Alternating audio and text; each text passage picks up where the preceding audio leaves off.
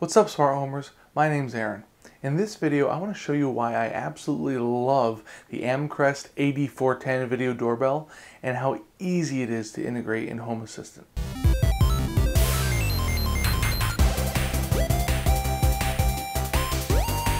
I'm not going to go into an in-depth review of its camera quality and the other features it has, but I'm mainly going to focus on how you can integrate it with Home Assistant.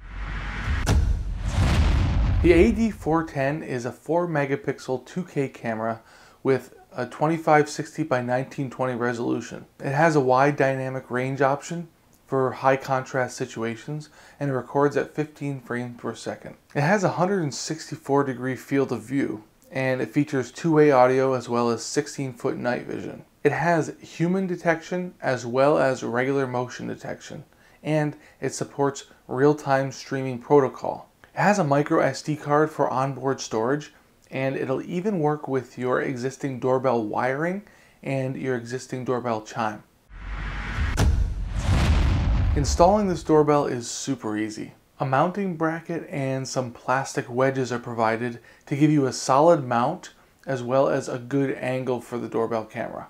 As part of the chime kit, there's two wires that need to be added to your existing doorbell chime to get it to work with this doorbell.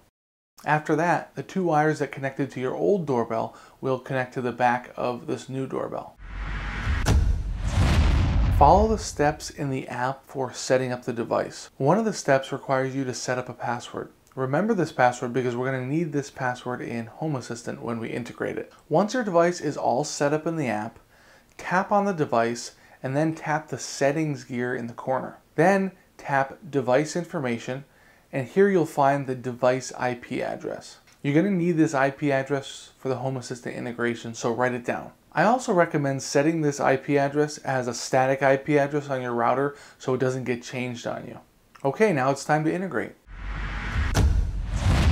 To integrate this doorbell in Home Assistant, we're going to use a custom integration in the Home Assistant community store that is made for Dahua cameras and video doorbells. As I understand it, some Amcrest cameras and video doorbells are just rebranded Dahua products or they at least share the exact same firmware. This means that the Dahua integration can work with these Amcrest products. In Home Assistant, head to the Home Assistant community store, HACS, and click Integrations. Next, click Explore and Add Repository in the bottom corner. Then type Dahua into the search box. Click Install to install the custom integration and then restart Home Assistant when the installation is complete. Once restarted, head to Configuration, Integrations, and then click Add Integration. Search for the Dahua integration that you just added and click on it.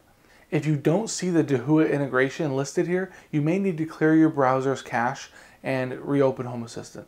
During the setup process, you're going to be asked to fill in a few different fields. First, for the username, put in admin. Fill in the password that you set up in the Amcrest app for your doorbell, and then put your doorbell's IP address in the address field. Leave the port, RTSP port, and RTSP streamed alone. For events, click the drop down to view the different options. Not all of these events are going to work with the AD410, so we need to select the events that are supported by this doorbell. Select Video Motion and Smart Motion Human. Click Submit and then give the doorbell a name and then click Submit again. Once you've successfully added it, we can now take a look at the entities that are going to show up in Home Assistant. Based on the different events that you selected during the setup process, you're going to have a different number of entities, but if you selected the events that I did, you're going to have nine entities in Home Assistant. However, we're only going to use six of these entities. The rest of them don't seem to be functional because this integration is still in development. The entities that we're going to use are the camera entity,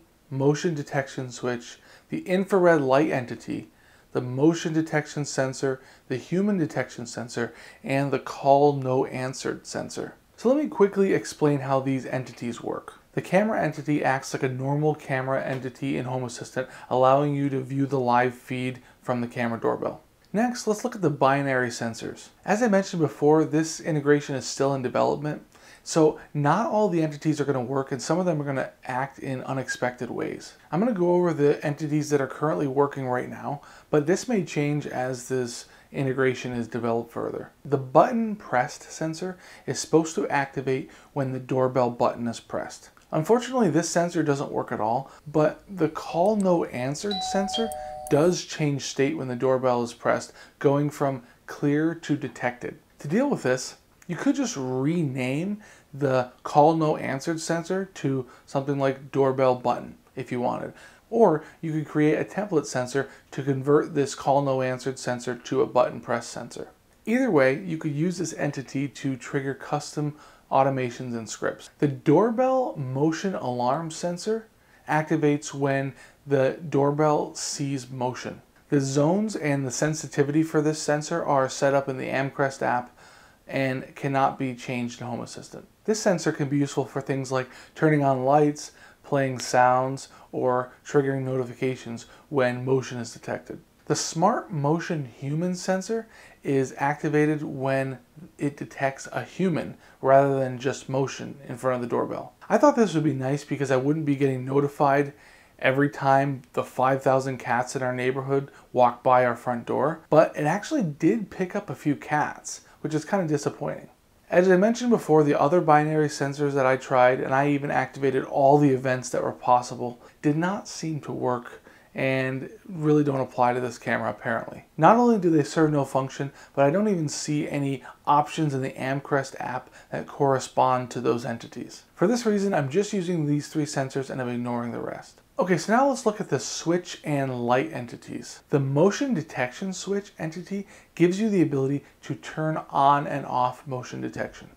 For example, maybe you don't want the doorbell to sense all motion because cars are driving by or whatever, but you just want it to sense when there's a human walking by. You could schedule the motion detection to be on at some times during the day or just turn on when you leave the house. The infrared light entity gives you the ability to turn on and off the camera's infrared light at any time in Home Assistant. I haven't thought of any cool uses for this switch, but if you have any ideas, let me know in the comments. Another way that you could integrate this doorbell into Home Assistant is using an app called Amcrest to MQTT.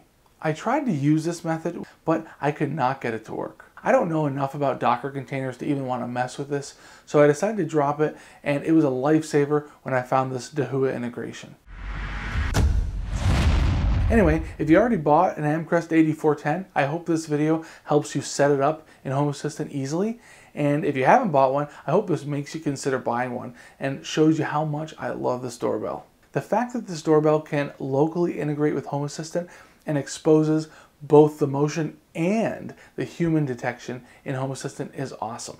It doesn't require any kind of hub or anything like that. It's just straight Wi-Fi and it does include onboard storage. The only downside I would say is that that onboard storage is outside the house, stored in your doorbell. If you're interested in buying this doorbell, feel free to use the affiliate link that I put in the description for this doorbell. Also, I'll be doing more guide videos like this, as well as Home Assistant automation ideas and product reviews. So if you're interested, please consider subscribing. Thanks for watching. See ya.